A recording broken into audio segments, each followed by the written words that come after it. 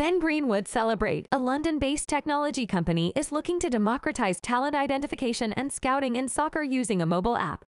Free to download and available globally, the A-Scout app allows aspiring soccer stars to enter virtual trials for professional clubs by uploading self-recorded footage of themselves completing a series of drills. It offers 75 exercises designed to test a range of skills, with videos showing users how to complete them. Performances are automatically scored by artificial intelligence AI technology. The data can then be accessed by clubs, allowing their scouts to peruse scores for viable talent, honing their search with a variety of filters, from age and gender to position on the pitch. The app currently has two English Premier League, EPL, partners, Chelsea and Burnley, and clubs can tailor their in-app trials to meet specific needs and set their own benchmarks by having their academy players complete the same drills. We're putting that data up front to make better use of the scouts' time, said Richard Felton Thomas, Chief Operating Officer of I.IO, the company behind the app. To say to scouts, go over to this place today because there's three players in that game that are all actually beating your Chelsea standard. That's going to be the best use of your time. It already appears to be working for some. Ben Greenwood had never had a trial with a professional club until he downloaded the app in 2019.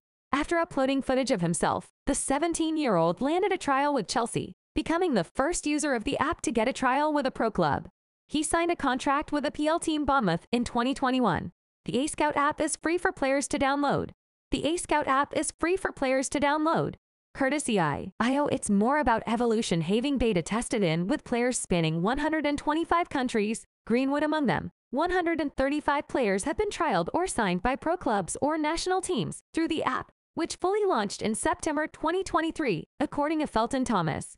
Just over 100,000 players make up the current database, but with over 100 clubs lined up to join Chelsea and Burnley, as well as a multi-year partnership with Major League Soccer in the US announced last May, Felton Thomas projects user numbers to surge into the millions as the operation ramps up this year. Felton Thomas said the lion's share of its income comes from charging clubs a license fee to run the platform.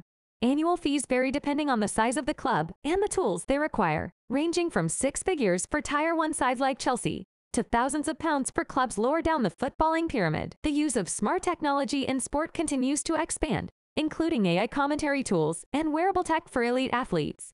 The global market for sports analytics, valued at $2.7 billion in 2023, is projected to grow 22% by the end of the decade, according to market research firm Grand View Research.